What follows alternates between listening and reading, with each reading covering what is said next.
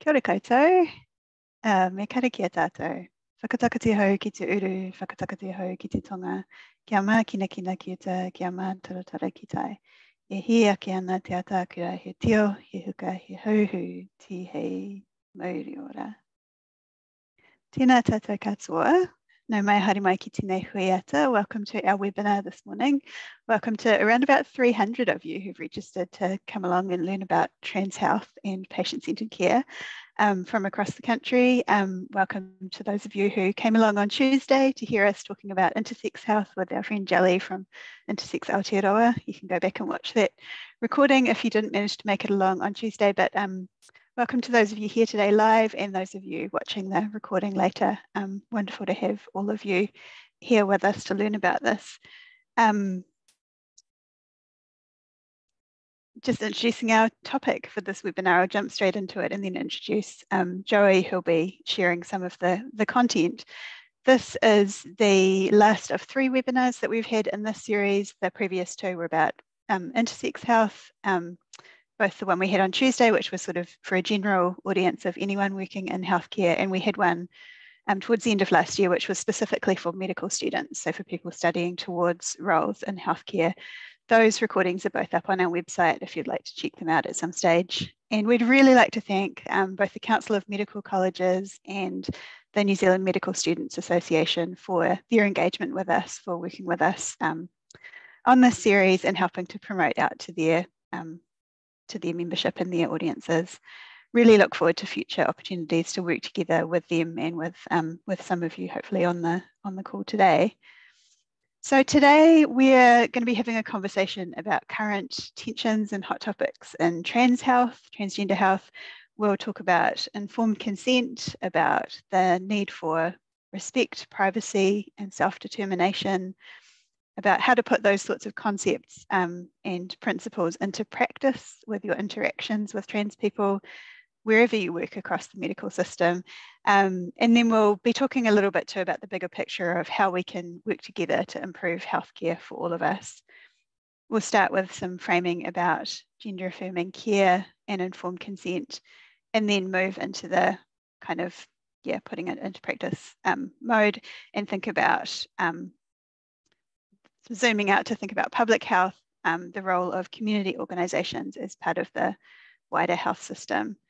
So um, today, none of us are clinicians. Um, those of us who are speaking today, we're talking from a community organisational perspective, not a clinical perspective, but we do work with medical professionals and healthcare systems a lot. Um, we want you to know that you have a role to play in the transformation of our health system so that it better meets the needs of trans and intersex people, whatever role it is that you have within healthcare, um, you have a, a, sphere of influence that you can work within, um, you have something that you can do. We want um, trans and intersex-led organisations to play a leadership role in collaboration with healthcare providers to transform the health system. So part of what we're talking about is the role of community-led organisations.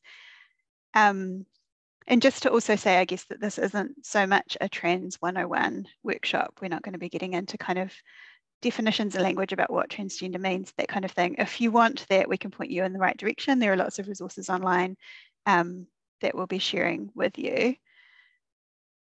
Before we get into it further, let's just intro introduce ourselves a bit more and what kind of experience we have working in this space maybe I'll go first because I'm still off mute.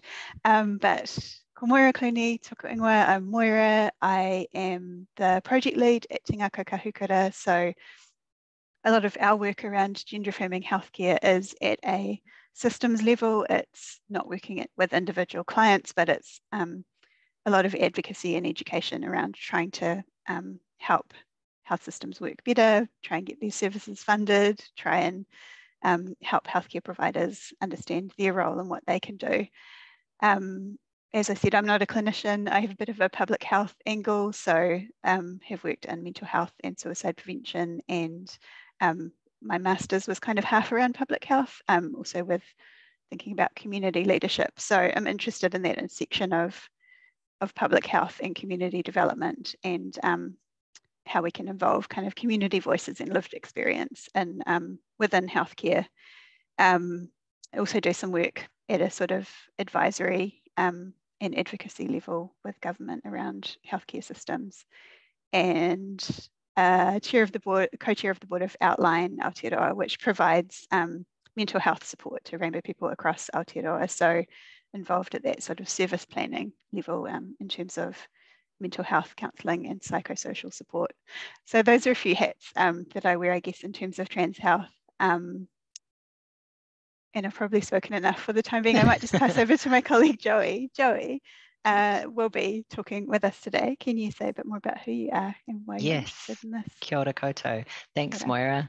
Um, so I'm Joey McDonald. I'm the education lead for Te Ngākau Kahukura, and I've been working in trans health or trans, queer, etc. community development and mental health spaces, uh, I don't know, for the last 10, 15 years and doing quite a lot of liaising and collaborating is often what I feel like my role is. Um, you know, trying to figure out how we can have better systems and make committees and move things forward.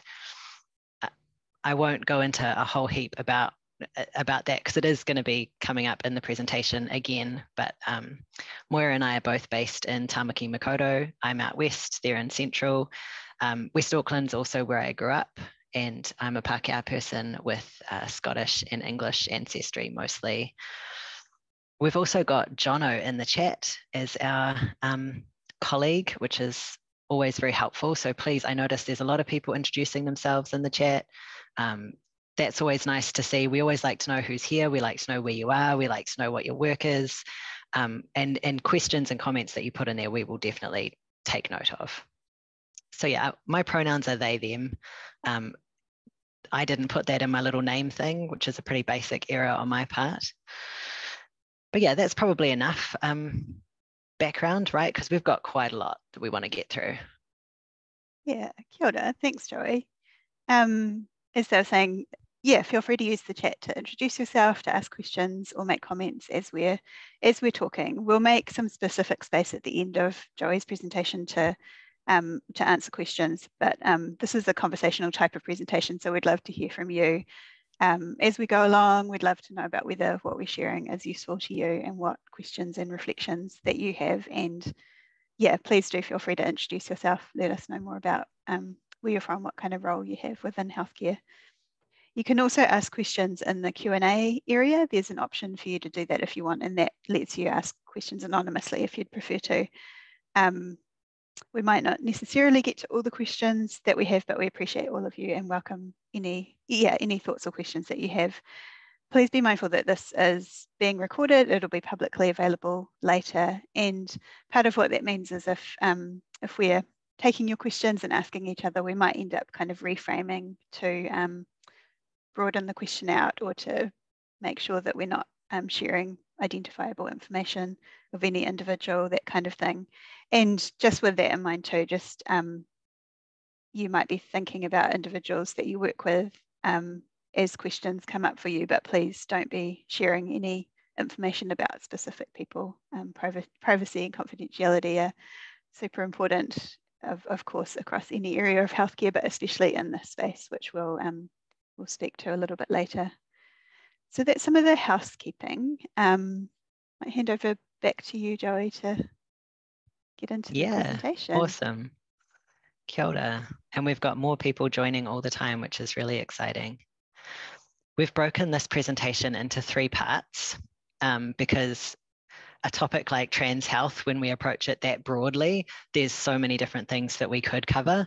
And we've tried to do a kind of interesting mix of things to try and meet the needs of our quite varied audience that means that I'm going to talk for a few minutes about um, part one. What does gender affirming care mean? What's the model of informed consent? Some of you will be very familiar with this already. Other people, it will be completely new.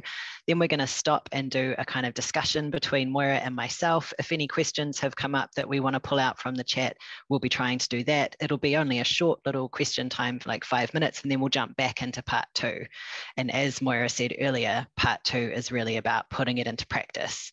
And that is relevant to not just people working in gender affirming care delivery services, but uh, more broadly than that as well. and then the last the last piece, we'll have another break, we'll have a discussion. The last piece will be how we can all be working together to transform the health system and how necessary that is. All right. What do we mean by gender affirming care? What's an informed consent approach? The next slide answers these questions. We notice there are people who are sometimes getting confused about saying, I need to be gender affirming in healthcare, or what is gender affirming healthcare, right? But we're actually talking about two different areas of health there, and obviously they overlap. We're trying to say that there are services that are providing gender affirming care. Those services are in primary and secondary services. That's not limited to just specialist services. And we're also saying that people across the health system and, and where, whatever your role is in that healthcare provision system can provide trans inclusive or affirming of gender healthcare. Those are different things. We've got some notes here about what kind of things might be included in gender affirming care. There's a lot more links that we're providing you at the end if you want more details about that at Te Ngākau Kahukura, we have some uh, principles that we want to advocate for in terms of how gender affirming healthcare is delivered in New Zealand. And we've listed these in, uh, in the following slides. I also know that we've put a lot of words in these slides and we're still going to be trying to get through them really fast. Don't worry, all of these slides are totally available to you afterwards. So we've written this kind of as a resource rather than as a really high level kind of slide deck. It's really going to be um, something you can come back to, something you can reread. If any of these words don't make sense to you or um, you want more detail about it, you can get in touch with us. Uh, we've got a, a way to do that through the website. We've got a way to do that. Oh, I'm just going to Oh, no. Yep. We've got Jelly joined us, by the way, Moira. I just noticed.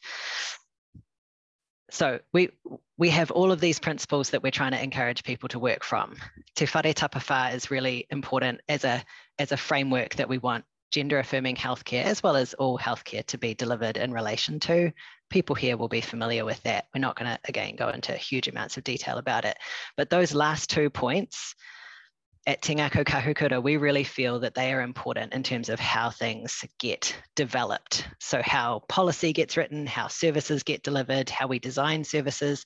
We want that to be designed and led by trans communities. And by that, we mean trans groups and organizations, people who are um, bringing that community expertise to the table. We're going to talk more about that at the end. And we also think, as we said in the, in the webinar on Tuesday this week, that it's extremely important for us to be doing that in solidarity with intersex people and advocates, with people of variations of sex characteristics.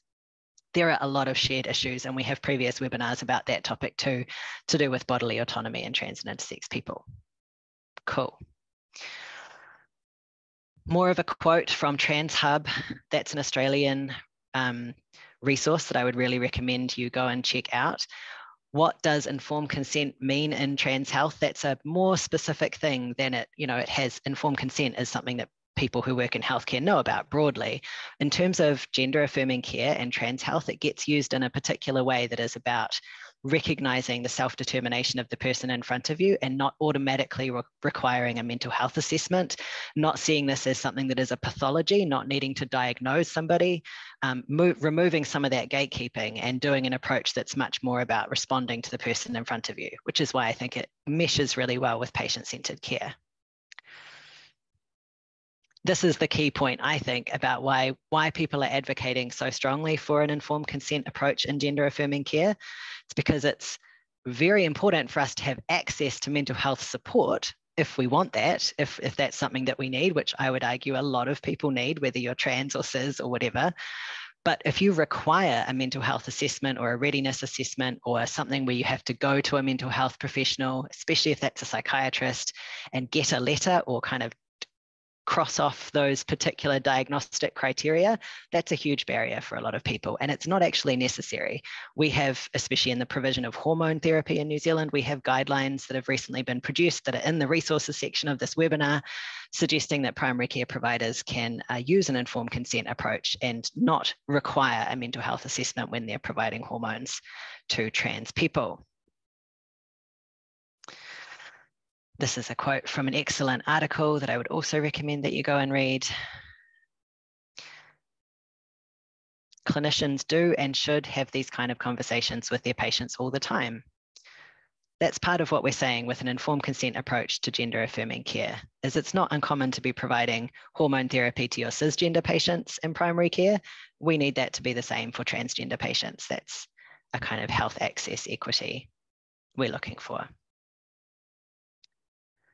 these are some resources and we will again all of these are available for you. Highly recommend GMA's resources highly recommend that article and the and the guidelines. Anyone working in primary care needs to read those guidelines. Thanks moira.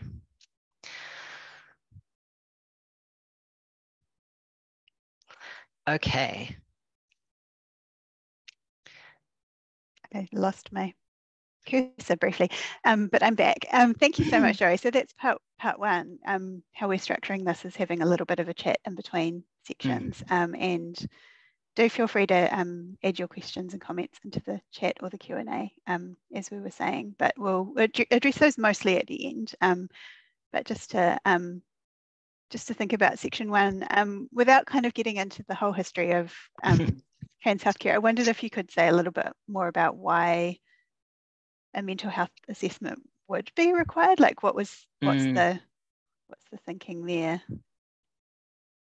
It's hard to put that in a really succinct way, but yeah. um, obviously, and yes, somebody asked, can it can we email the PowerPoint out? The PowerPoint will be available for you on our website, so you can just go there and download it anytime. Um, and we'll send you some stuff after this as well. The history of um, pathologizing gender diversity or variations of how people do their gender. That's like the Western medical model, right? Sees uh, a way of doing gender as being normal and it's a kind of white Western binary approach to gender. And that got enshrined in something like the DSM and various other medical um, institutional knowledge thingies. Um, and then it got applied to people in contexts like here, where it's often deeply inappropriate. So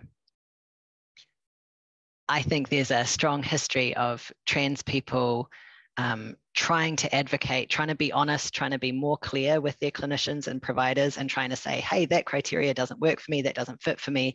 Um, being trans is not a problem I have. I'm not broken because of this. I don't need fixing. What I need is access to healthcare or access to something to help me live my life.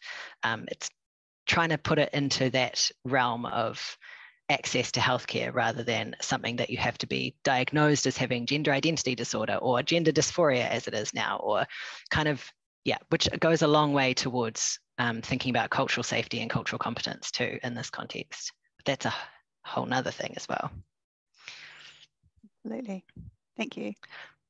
Shall we shall we move to the second section and then we will be talking about what this actually means in practice, because it's all very well and good to have these highfalutin principles. Next one.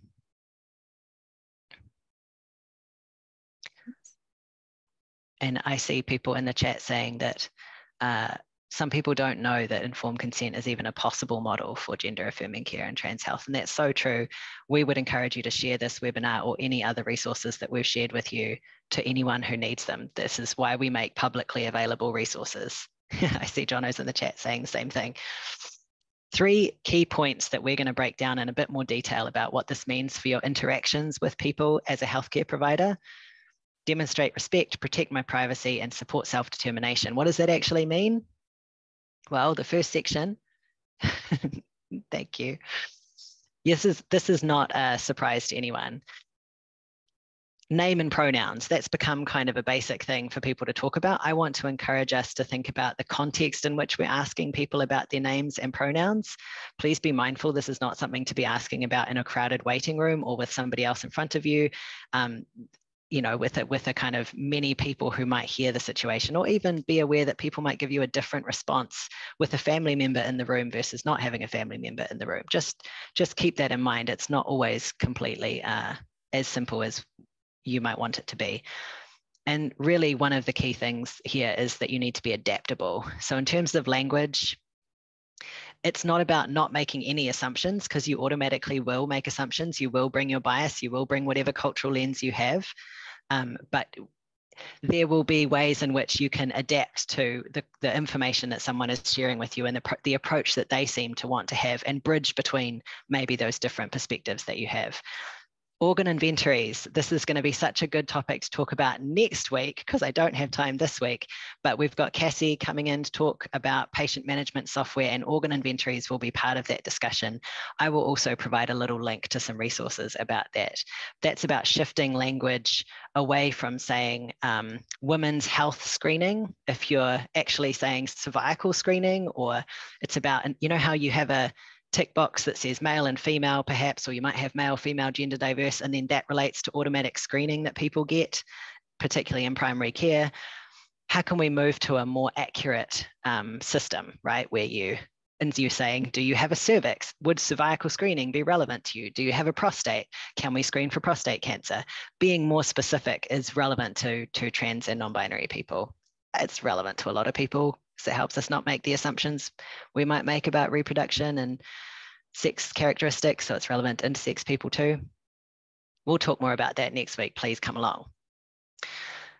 These are all more practice tips about being honest, being transparent, um, being clear, being able to make mistakes. It's okay. If you work in healthcare, you're allowed to make mistakes. I think everyone needs to be able to make mistakes. How else are you going to learn? It's about how you recover from those mistakes. People will remember the moment where you corrected yourself. They will remember the moment where you said, Oh, sorry, my bad she's here to talk about blah blah blah blah blah you know when you've used the right pronoun for someone after using the wrong one or when you've said, hey, I know this is really problematic, um, that I have to fill out this form and it's only got these options, but what would you like me to tick here? Like, we know that you're not a, a representative of the system, uh, that you want the system to be improved too. So please just be, be transparent about that.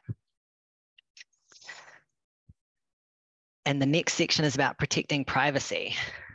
The most important thing here is recognizing the difference between privacy and secrecy this is something I've really learned in relation to intersex healthcare and the times that Jelly has been talking about.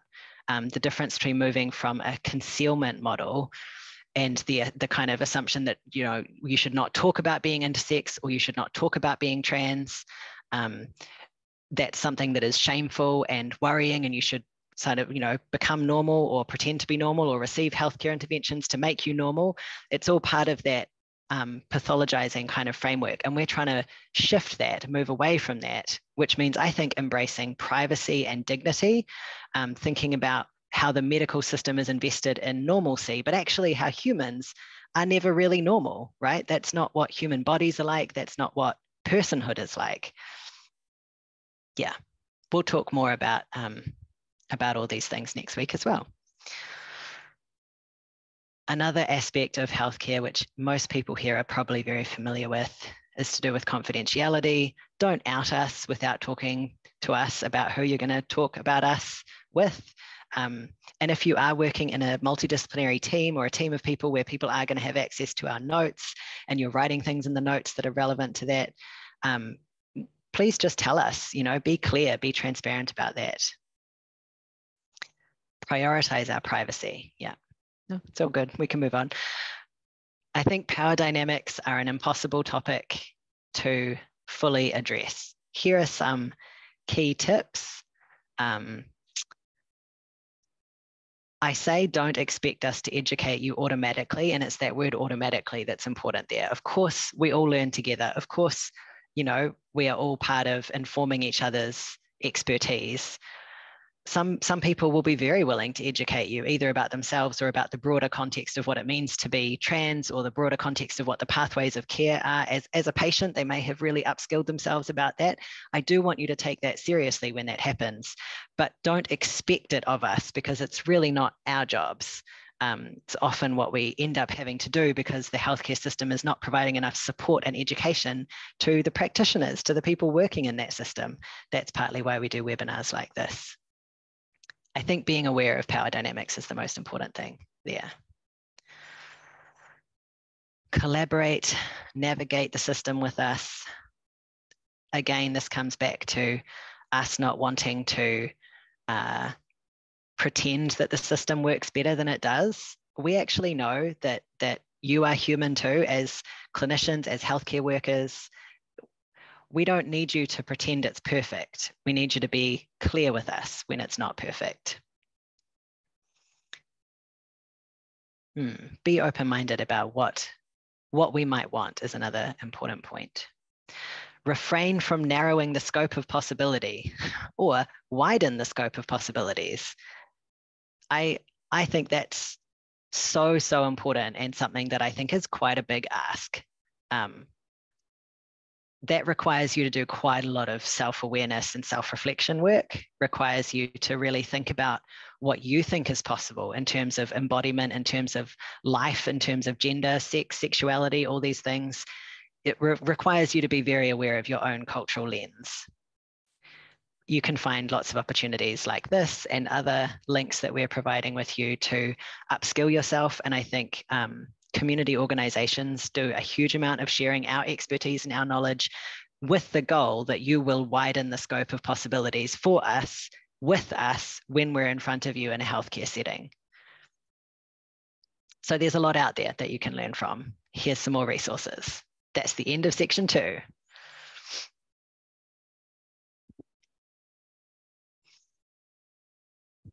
Thanks, Joey. Lots to consider. Um, I think one thing that stood out to me was this idea of um, asking that people keep reflecting on their own experiences of gender, on their own sort of lens about these things. Um, why is that important? I think because that's cultural safety, right? So it's like any other aspect of cultural safety.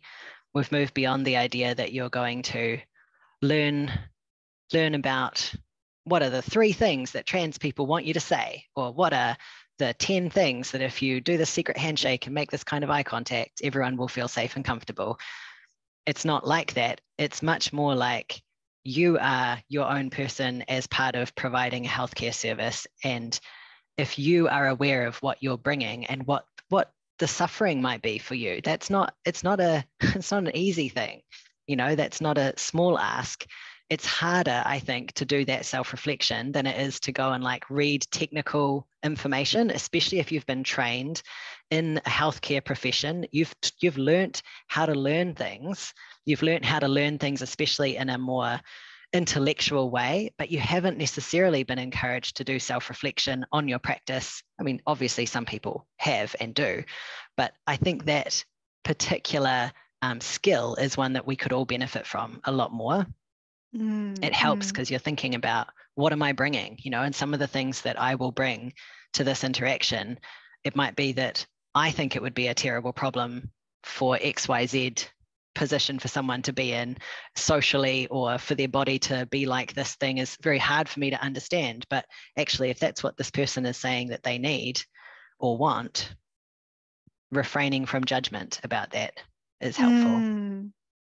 Yeah, absolutely. I was just thinking too that um, as medical professionals, you're often learning, when you're learning, you're often learning to be the expert as well, right? And I guess this is one space where mm. um, you you might know some things, you might learn some things, but it really, um, best practice is really like working with the person in front of you, understanding what what they want out of their healthcare. Mm. Be the expert to, on the system. Mm. Or be, the, be you go. And be the i was going to say be the expert at listening as well. Yeah listening yeah. and pathways like what's what's possible? It's really good if within the practical realm of what you can refer people to and how to get there that's all stuff that we really need health professionals and people working in health to know about. But you don't need to be an expert on my gender. You don't need to be an expert on my body. That's not that's not your job. If you can hold mm. a safe space for me to give you that information and, and hear what i'm saying that's probably going to go a lot a lot further. Yeah. Yeah. Thank you. Um, and I can see we've had some questions mm. coming through, which is really wonderful. Keep those coming um, in the chat or in the Q&A and we'll get to them at the end. But are you feeling ready to go on to section three, Joey? Yes. Cool.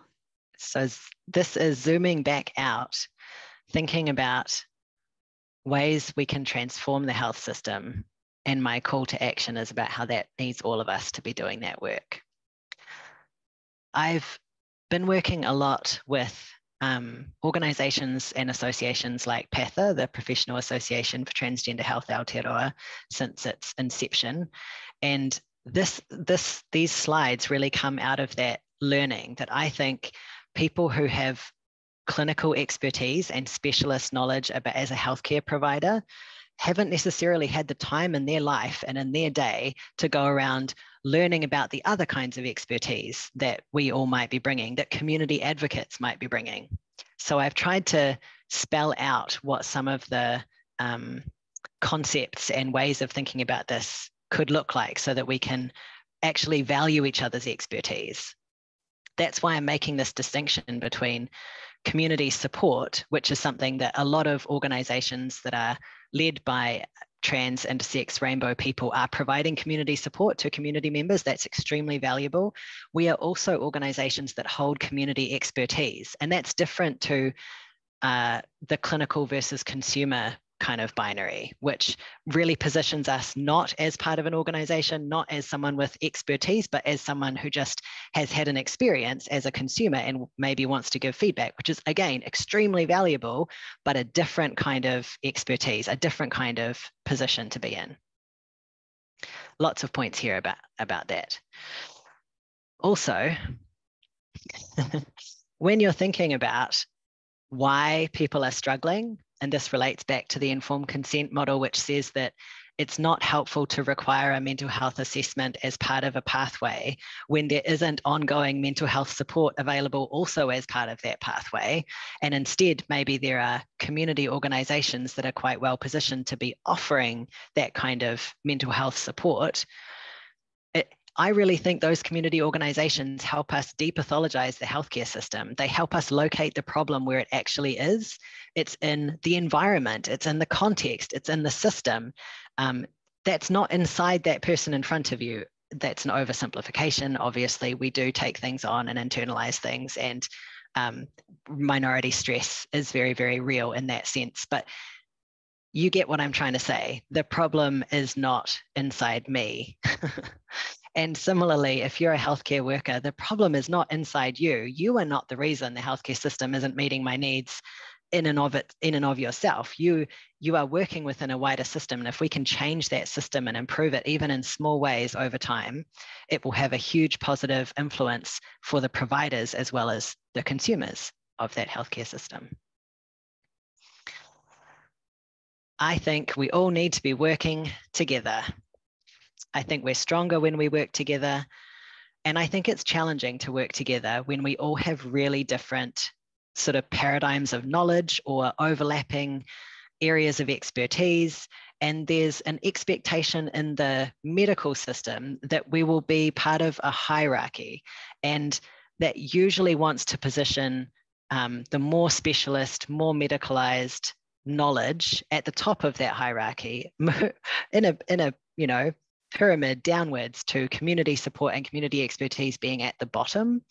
And I'm encouraging us to, to really reframe that and think about it much more as um, maybe as a circle, just off the top of my head of a shape, but thinking about how we all have a role to play, right? And actually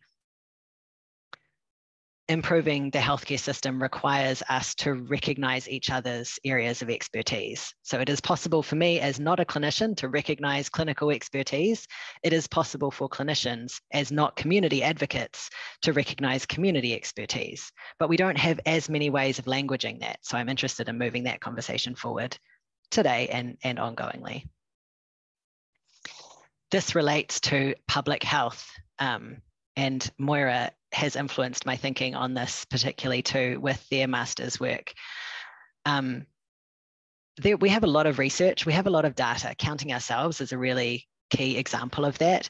We can use that evidence and data to talk about social determinants of health and impacts of things like transphobia on trans people's lives and the health inequities that we are facing, that really brings all of us together. You know, that's something that um, addressing the public health needs of transgender people across the world, that's a big call. I'm only really arguing for these islands, but, that bringing together advocacy, social justice, human rights, there's a role for all of us to play in those um, partnerships. And we've also linked to that article that I've pulled that quote from, which has another quote on the next slide, which is about how we need a comprehensive approach that includes gender affirmation as a public health framework. And doing this needs to be informed by high quality data. Access to healthcare needs to be informed by high quality data. We have that here. And effective partnerships with local transgender communities. That's community expertise. So I'm not the only person by any means who's pulling this together. There are a lot of people who've done a lot of work on this kind of framework and the public health framework being extremely relevant. I just want to put it out there as a way we could be working together. I think this is the last slide, and I'm trying to summarize that the problem is transphobia. And that is a problem for people working in the healthcare system as much, maybe not as much, but you know, similarly, it is a problem for people working in the system as it is for us trying to access healthcare. And I'm saying transphobia, but I really mean in combination with racism, ableism, homophobia, biphobia, etc. Um, all of those isms.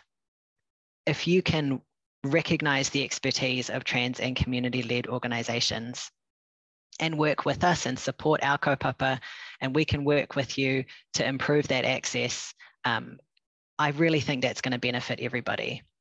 You know, locate the problem in the system, not the worker. Locate the problem in the environment, not the person, and find ways to collaborate across disciplines and sectors. That's my really quick overview of how I think we could use a public health framework to, to work together haven't done a deep dive, but I'm very here for it. And if anyone wants to reach out to us after this webinar and talk more about how we're going to do that, I would love to hear about it. Those are some resources. Sorry for the slight awkwardness with slide changing. Um, no, no. just trying to trying to guess when it's when it was time, um, time to shift things on. Yeah, and I think um, really here for any analysis about transphobia as a social determinant of health, all of that kind of thing. Um, and I was thinking too, it's probably important to kind of acknowledge um, the context that we're working in in terms of mm. transphobia and That's right. trans health. Um, in that transphobia, you know, not only impacts directly on health outcomes, not only kind of impacts directly on trans people and um, our mental health, but um, is impacting on the healthcare system as well. That there's sort of organised movements, particularly overseas in the States and the UK around actually people challenging the legitimacy of trans people in trans healthcare. So just acknowledging that we're working in that context and that that can kind of make these conversations difficult at times as well. Thanks, Joey. That was great. Um, lots in there. so much, so much. Such a big ask to try and cover trans health in an hour. Hey, mm. um, but you did a great job, and we've had some questions come through. Um, I guess um, uh, yeah, and feel free to, to keep asking questions in the, the Q&A or the chat as we're talking as well. Um, one of them was around um, the idea of informed consent and person sort of expressing concern around mm. what does that regret. mean about regret? Yeah, how do we remove the barriers of needing mm. to be diagnosed with something? Mm. The idea of diagnosing people as trans or as having mm. disorder of some kind. Um, how do we make sure that that we are um, supporting people to make decisions they they won't regret? Yeah. Well, we'll definitely link to some research that shows the extremely low incidence of regret in relation to gender affirming care. Of course, there are individuals in any context who will change their minds and say, okay, that wasn't right. Maybe I regret it, or maybe I've just changed my mind.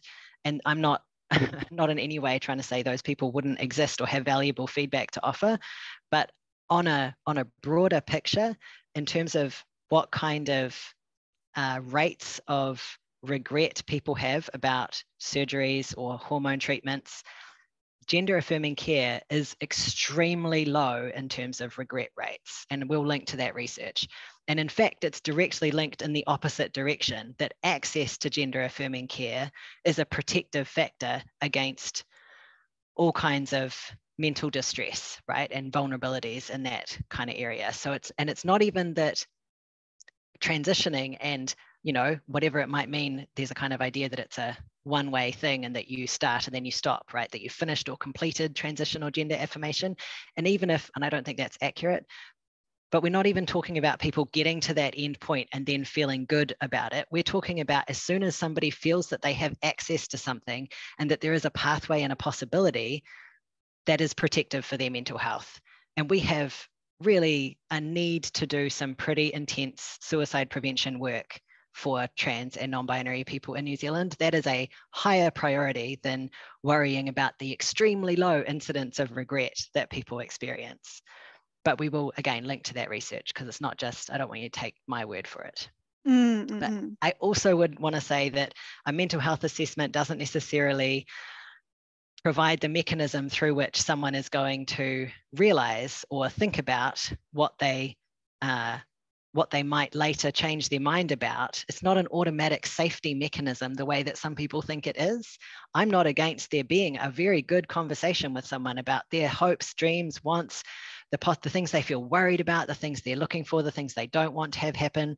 But all of that can be done without it being a hoop that people have to jump through. Because as soon as you make it a hoop that people have to jump through, you're risking us being less honest with you because you've automatically made it that we have to pass the assessment. You know, if you've made a system where we have to um, demonstrate something to you in order to get access rather than it being a more honest and transparent conversation, you're not getting the information that we might otherwise share. Mm-hmm. That's off the top of my head. No, absolutely. And I think um, another part of that question was around how do we support people to be making these decisions? And I think um, having access to counselling or mental health support or peer support or just somebody so who you can talk to is so important. And you know, wouldn't it be wonderful if somebody who's wanting to access healthcare had someone they could talk to who had nothing to do with providing that healthcare. Right. it's a completely separate person. Maybe they're a health professional, but they work somewhere completely different in a different service. And yeah. they could actually have an honest and open conversation with them about what they do want and what the options might be and like yeah. what their worries and concerns are. Because if you um if you are providing mental health support through an assessment type mm. model, um, it's not really a space where someone's, someone's going to share any. Um, no, it's not the same concerns. reflection process. Mm, and it's not necessarily like it's hard to make that safe for somebody to express that they might not yep. be sure or yeah might yep. want things to go slightly differently so Absolutely. hopefully that yeah hope that addressed and I've met question. I've met a lot mm. of people who are in that position of providing those mental health assessments um, as psychologists or counselors or, or psychiatrists, and they know about this dynamic and they're trying as much as possible to make it a safe place where people can share. And I applaud their efforts to be open minded about what people might be bringing, but it's not as much as you change your individual practice, that's not going to remove the power dynamic about this being a point of access issue, right? It's not going to make you not be the point at which we have to get through something to get the access that we need. If there was, like Moira says, somewhere you can have a conversation with someone who's not the person who opens the gate for you or not, you're much more likely to reflect on what you are worried about. And then you could bring that back to the person who is your access point if it felt like it was relevant and useful. You know, mm. I think. I think we've got to get outside of the idea that the pathway of gender affirming care is itself the thing that is going to meet everyone's needs. Because mm. a those pathways are inadequate anyway and severely under resourced and there isn't enough access like people are on huge long waiting lists for all kinds of things.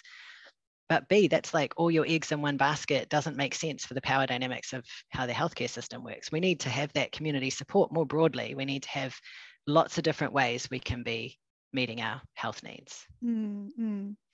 Yeah, I think sometimes too the concerns about regret can be a bit um, out of proportion when you think about other types of healthcare people might access. So yeah. when we talk about informed consent, the idea is that you would go to a doctor, you, you know, you'd talk through your options, you talk through what you might want to access, and then you'd be given all the information and you'd weigh up the pros and cons, think about the risks, and then make the decision. And um, then there may or may not be some different ways that you feel about it a year down the track. But you know that's that's the case with any healthcare that you might access. Um, and we don't have kind of a special a special model of requiring mental health assessments for for most forms of healthcare that that do have higher rates of regret.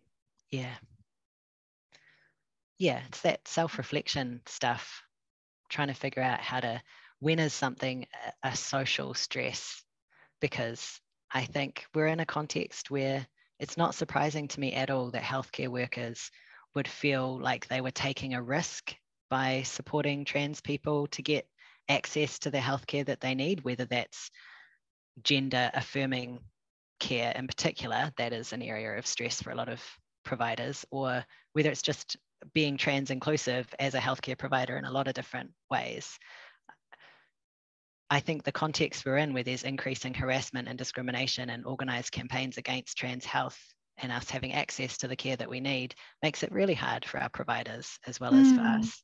So I just want you to give yourself a chance to reflect on what that's like and the the difficulty that you're facing in that and then to join PATHA and connect with other healthcare providers and talk to us at Te Ngākau Kahukura about how we can be supporting each other and have each other's backs as we do this work because that's that's the that's the way forward that I think actually supports all of us, the people who are providing services and using services and helping to design services and giving feedback on services and all of that stuff that's to do with health. Mm, mm, mm. I don't think yeah. the way forward is to get stricter and more rigid about our pathways. I think the way forward is to um, make a more flexible system. Thank you. Um, I wondered if we could talk a bit about uh, practice and how doctors could be supporting people in the context of just the huge number of gaps there are in provision of care. Um, one of the questions that's come up is from somebody who's talking about their own um, treatment pathways and wanting mm. to access the service that they're really having a lot of trouble with. There's a really long waiting list. Um, we know with um, surgery services in particular, there can be extremely long waiting lists or in some regions things just aren't available or it's mm. not clear or you have to kind of put your name on a lottery and two people get chosen a year and you just don't really know how long you might need to wait.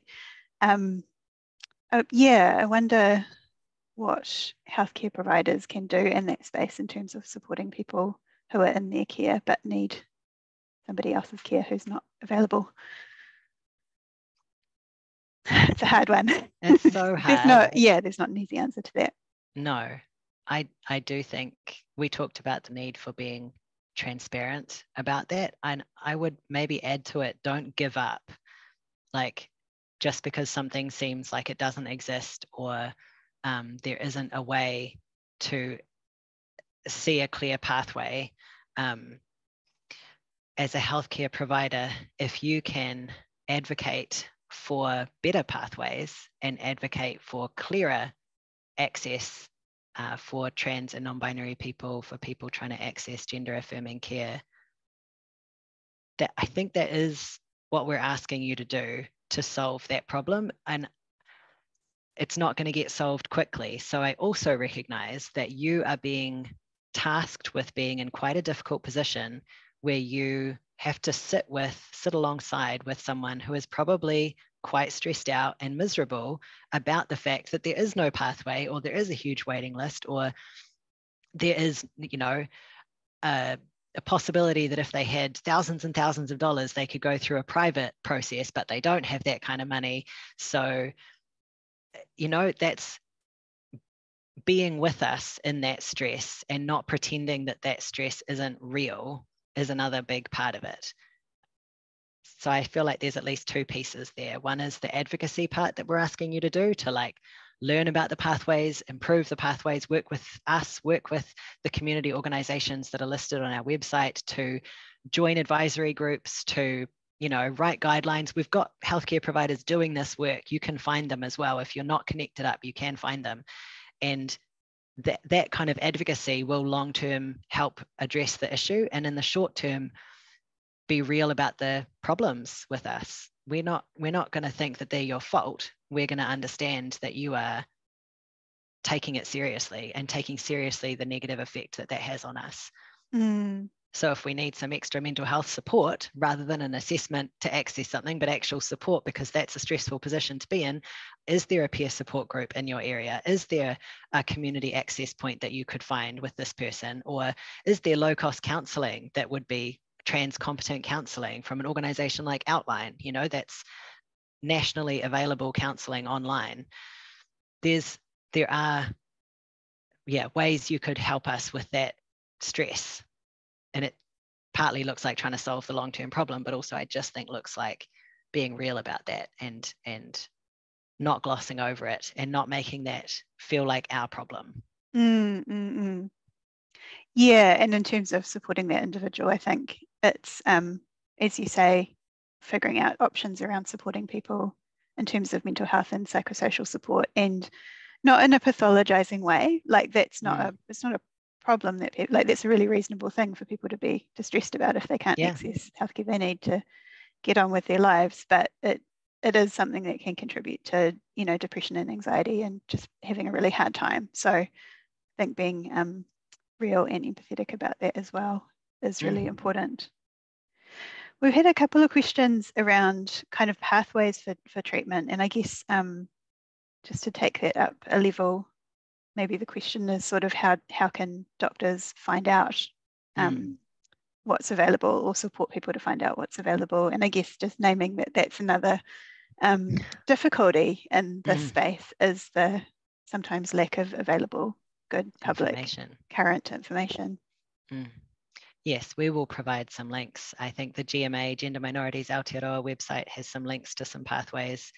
Um, and we are interested to see what Te Whatu Ora comes up with for national pathways because previously it has been very regional and very, um, depending on which DHB you're in, there would be a different pathway or um, different pathways for different primary care providers in different places as well, because that connection between primary care and uh, more, more secondary services is so important for gender affirming care in particular some things can really happen in primary care without the secondary care element. We're encouraging that more and more because that's that's an access issue, right? You can usually get better access, more timely access to a GP or to a primary care clinic of some kind easier than you can get a specialist appointment, especially if it's about bouncing around, say getting a referral to an endocrinologist and then they require you to get a mental health assessment. You're waiting six months for the endo, six months for the mental health assessment, six months to go back to the endo,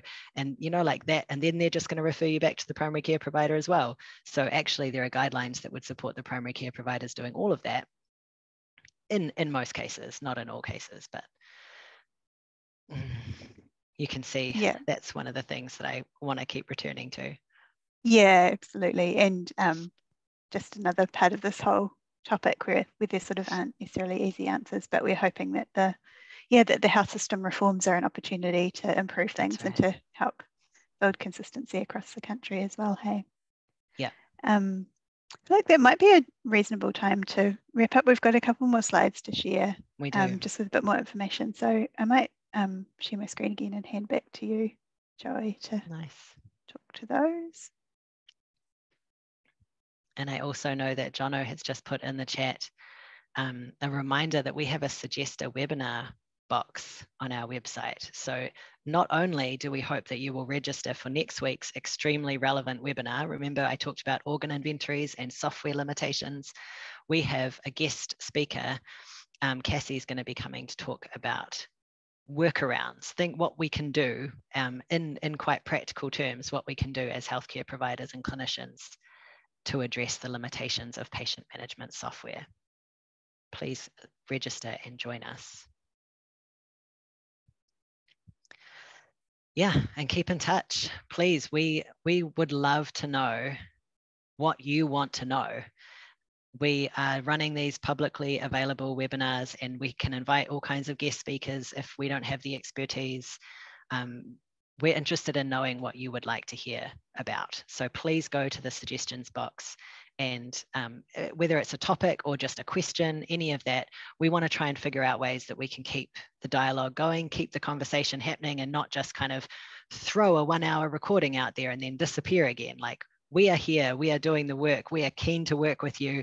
And we are by no means the only community organisation that is keen to work with you. So please get in touch and uh, talk to us about what you're trying to achieve, and we'll see who we can connect you up with or how we can increase the relationships that we all have to try and do more advocacy in the healthcare space. And thanks to everyone who's saying thanks in the chat. And it's it's been great to see the excellent conversation that's happening in there. And there are some questions that we might follow up with afterwards as well. So just noting that. Anything you wanted to add about upcoming webinars, Moira? Uh, more so previous webinars, actually. I was oh, just oh, yeah. looking at this picture and remembering, you know, we've got a um, directory of webinars we've done previously on our website. So there was a series last year that we worked on with um, gender minorities, Aotearoa and PATHA and counting ourselves around mm. um, Trans Health and primary care in particular. And there's some good content there if um, you or anyone you know is interested in, especially thinking about um, providing gender affirming hormones in mm. primary care. Um, there's some good conversations in that series. Webinars about pronouns, about suicide prevention, about extremely relevant topics. Yeah, supporting rainbow young people in rural communities. So a whole range of, of webinars up there and they're all kind of free and available for you to you to watch if any of those are of interest. Yeah, and I would like to acknowledge um, the Council of Medical Colleges again for collaborating with us on this webinar series that we've been running with Intersex Aotearoa. Um, Jelly, it's so wonderful to have you involved in any project we're involved with. Intersex Aotearoa is such an important organisation and you do such important work. And we've been supported by the Tindall Foundation with some funding to enable these webinars to happen. So thank you to um, the Tindall Foundation as well. Kia ora. Is that us? I think that's us. Yeah. And and thank you for the compliments in the chat. It's wonderful to feel like we get a chance to share our thoughts and questions rather than just answers. I do feel like this is part of an ongoing conversation. Mm. Um, and a mm. lot of people who've shown up today are going to be part of that moving forward. So, kia ora.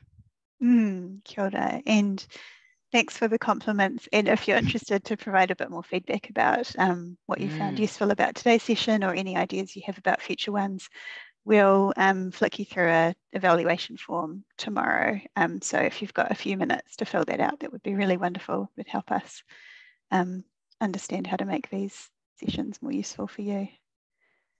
Absolutely. Otherwise, yeah, otherwise just thank you so much for your time and attention and for turning up, being interested in this kaupapa and um, yeah, hope to keep in touch with you moving forward. And shall I close our session with a karakia, Joey?